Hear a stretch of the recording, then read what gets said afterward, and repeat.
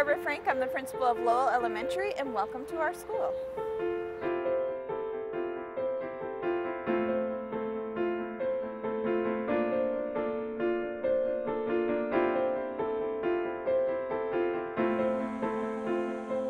Hi everyone, I'm here with Barbara Frank. She's the principal of Lowell Elementary School and we're going to talk about improvements made to this historic building, additions too that have improved the quality of education here.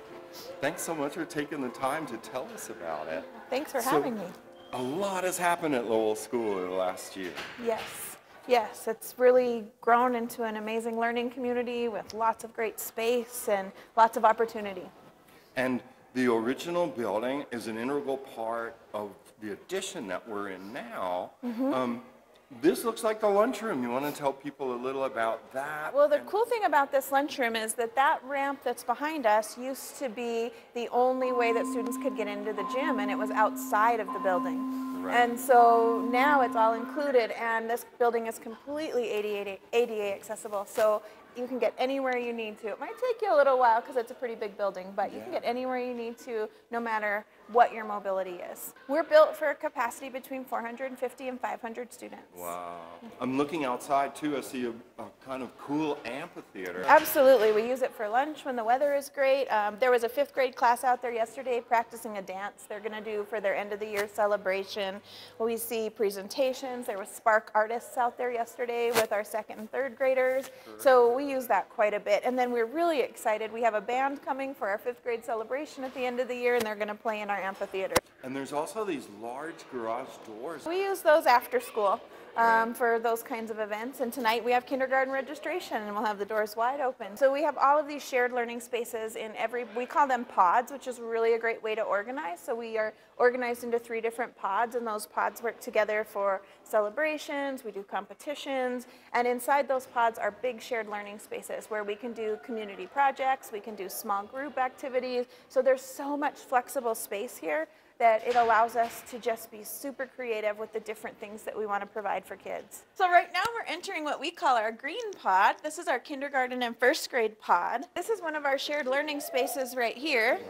One of our favorite things that we do in this space is we do a fancy breakfast with students. We have something called hashtag awesomeness. So when our, we recognize students for awesome things and then we draw awards. And so we fill this whole area with um, fancy supplies and we set up tablecloths and we have fancy breakfast. But we use this space for lots of great things. It's a break space for kids. You can see we do small group instruction out here. We do grade um, pod assemblies out here, so there's lots, of this space just is constantly in use for lots of different things. So we have lots of flexible seating, which is really nice. All of our pods also have a small meeting room uh, that we can use. And the other great thing about the pod is we see it building community.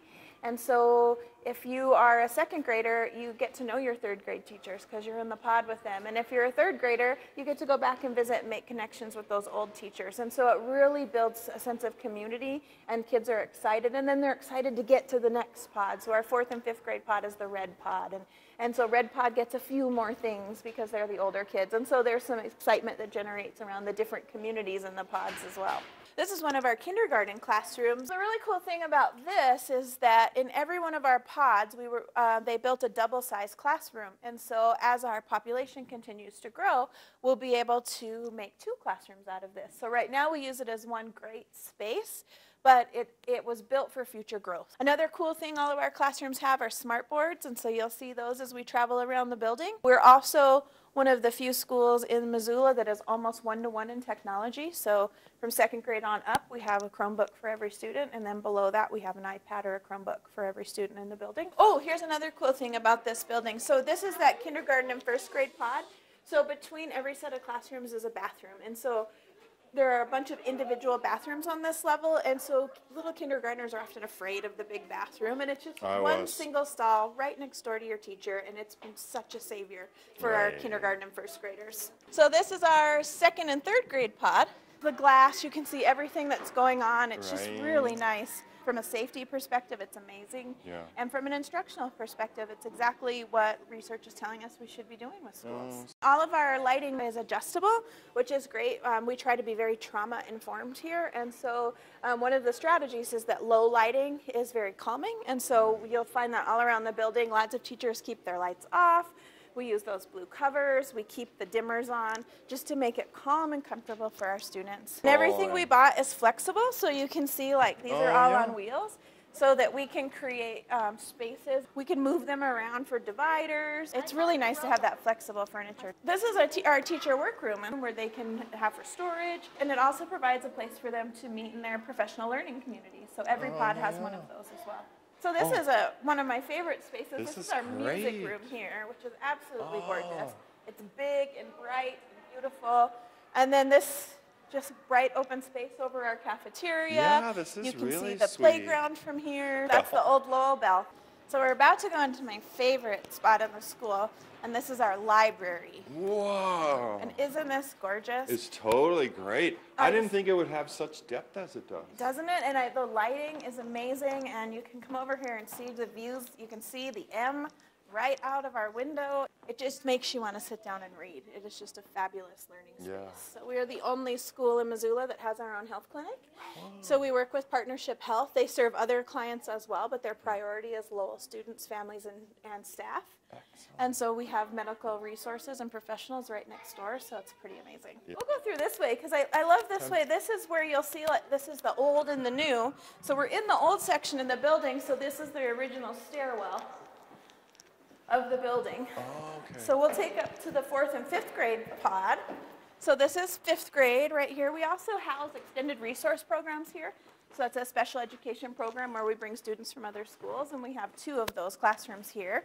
There's our teacher workroom. Look at this great red. We know, I mean- Wow, look at this. So this. is something that Lowell didn't have before, and that is we have a band and an orchestra room because mm-hmm. now we have space for these programs. Um, and when we come back downstairs, I'll show you our art room. And so these were classes that were on carts before. They were people were moving around, and now we're able to provide space for band, orchestra, music, and art. This is our fourth grade, and then this is their shared space. A little Right. different in this building because it's the original building, Right. so it's not they're not all around one shared space. But when you get into fourth and fifth grade, it's nice to have their own kind of divided areas so that they can have more access to shared space for their grade level. I love this is one of my favorite classrooms. You can peek in there. This is vein, yeah, that can also be both purple or vein. What do you think? We have our red pod, our green pod, and our blue pod, and so we have pod competitions, and it's just easy, even for safety personnel, to say that that's the red pod. So this is the Lowell School Garden. The school community is super proud of this garden. We have programs that run all summer long. We do cooking classes in the summer, but during the school year, our classrooms are out here regularly, sometimes just to read and enjoy the fresh air.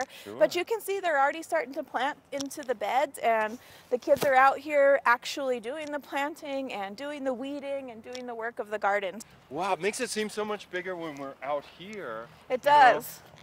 And I guess they must have done a lot to rejuvenate the brick on the old building. Yeah, and you can see like where it was connected to the old annex there. That's about the only sign you can see that there was um, construction. They did such a great job preserving it and making it look like that's the way it always has been.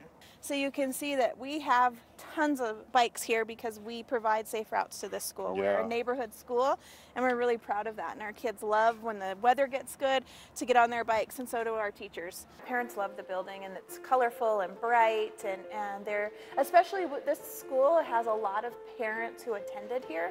And so it's really fun to watch them come back and go, oh, this is where my fifth grade classroom was. It doesn't look like that anymore. And so there's a lot of history that parents bring to the building and share with us about what these spaces used to look like and Oh, how excited they are to see the changes.